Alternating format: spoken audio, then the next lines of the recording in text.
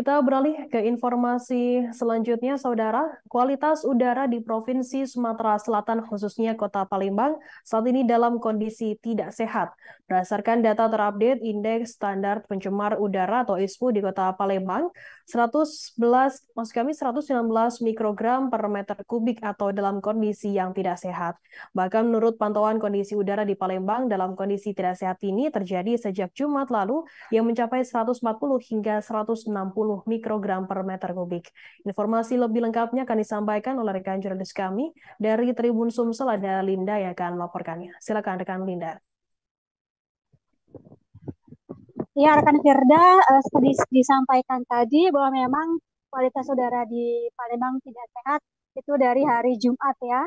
Nah, di mana di hari Jumat itu sampai 140 140 sampai 160 mikrogram per meter kubik untuk PM 2 setengahnya. Namun memang sekarang sudah diupdate, uh, sudah sedikit berkurang hingga 119 uh, per meter kubik. Nah, uh, untuk berdasarkan PM tertinggi ini uh, PM 25, uh, kemungkinan besar asapnya ini berasal dari uh, karhutla atau kebakaran lahan yang ada di Sulsel. Nah, kalau untuk fosfor tinggi, uh, maka akan terbaca untuk PM 25-nya gitu.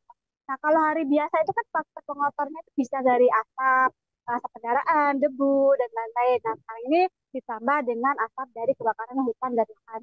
Nah, kalau menurut dari DLAP sendiri itu kalau munculnya asap e, sampai ke Palembang itu kan kiriman dari berbagai wilayah yang ada di Sulsel. Itu biasanya mulai dari pukul 17.00 sampai 18.00 itu mulai masuk ke wilayah Palembang, nanti puncaknya di pukul 2.00 sampai 3.00 dini hari. Kemudian akan terus uh, menghilang di saat matahari terbit gitu dan sampai pukul 12. Karena memang uh, asap ini kan sifatnya berjalan dan butuh waktu 2 sampai 3 jam uh, untuk menyebar sampai ke kota Palembang. Nah, contohnya sendiri kan kayak seperti hari itu ispunya 119, itu update di atas, uh, padahal memang sebenarnya ada juga sampai 200 gitu. Karena perkembangan ispu ini uh, terus bergerak gitu.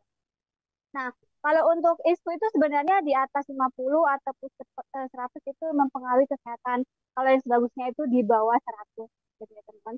Nah, kalau yang eh, sempat juga saya ini mewawancarai Gubernur Sumsel Hemanderu nih, kalau menurut dia untuk ISPU sendiri ini eh, memang akibat dari kebakaran ya termasuk. Nah, untuk itu diimbau masyarakat menggunakan masker eh, jika keluar rumah. Nah, jika memang nggak penting itu lebih baik tidak keluar rumah.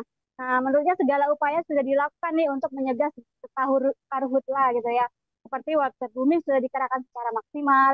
Memang inilah salah satu konsekuensi dari adanya El Nino atau kekeringan sehingga membuat uh, mudah terbakar gitu ya. Nah, dia juga mengimbau atau berharap nih uh, untuk yang membuka lahan jangan membuka lahan dengan cara dibakar apa pun itu mengingat ancaman hukumannya begitu tinggi juga. Nah, kalaupun uh, yang tidak sengaja agar lebih berhati-hati karena kasihan juga dengan orang lain. Lalu untuk pengguna jalan tol karena memang kalau di Kota Palembang ini di, uh, di seputar jalan tol itu sering terjadi kebakaran hutan dan lahan. Memang diimbau untuk jangan sembarangan membuang barang-barang yang mudah terbakar seperti puntung rokok. Begitu Firda. Baik, terima kasih rekan Linda dari Tribun Sumsel atas laporan Anda. Selamat bertugas kembali. Tribuners akan kami tampilkan wawancara berikut dari Gubernur Sumsel, Herman Dero. Berikut liputan Anda. ISPO, ya kita akan uh, kaji untuk uh, meningkatkan status.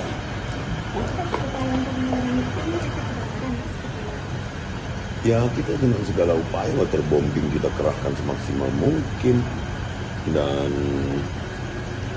inilah salah satu konsekuensi dari El Nino kan? Kering gitu jadi sesuatu mudah terbakar.